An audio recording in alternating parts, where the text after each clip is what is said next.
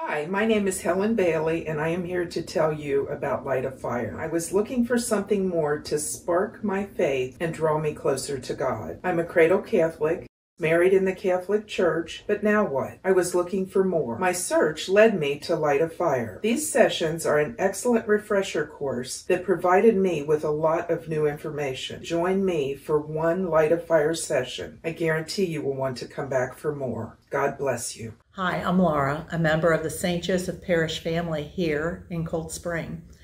You know, our faith is a precious gift from God, part of our relationship with Him, and like any other relationship, it needs to be nurtured and protected in order for it to strengthen and remain strong. Mass, we pray the Nicene Creed, and it begins with the words, I believe in God. What a statement. I mean, what do I believe? There's an infinite amount of answers to that. And a great way to discover some of those answers is through the adult faith formation programs that are offered here at St. Joe. I encourage you to attend one of these programs with other members of our parish family as we strengthen our faith together. Thank you.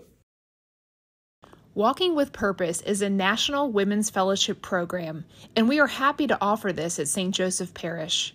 We are starting our third year, and we welcome all women of the parish to register by filling out the Google form and join us on Thursday nights in Memorial Hall or Friday mornings in Parish Meeting Room B starting September 8th. Visit our webpage on the parish website under Adult Faith Formation. We have an open seat for you.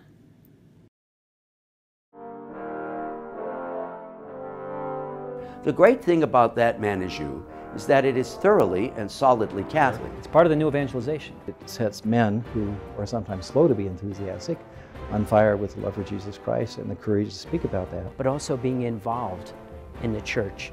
And I truly uh, believe it's because of that man is you. That man is you brings hope to the priest's heart. Because at the end of the day, that man is you is about a personal encounter with Jesus Christ so that Jesus Christ can transform your life.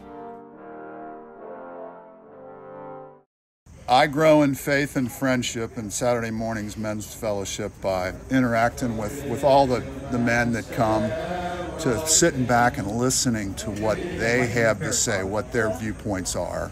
The fellowship is the key word there, just the daily grind that we all have, but having men there to help us along the way. Uh, really become good friends with a lot of those guys. I know the burdens that they're carrying, and I, and I love uh, the way that they tell us how the Lord has helped them through those challenges.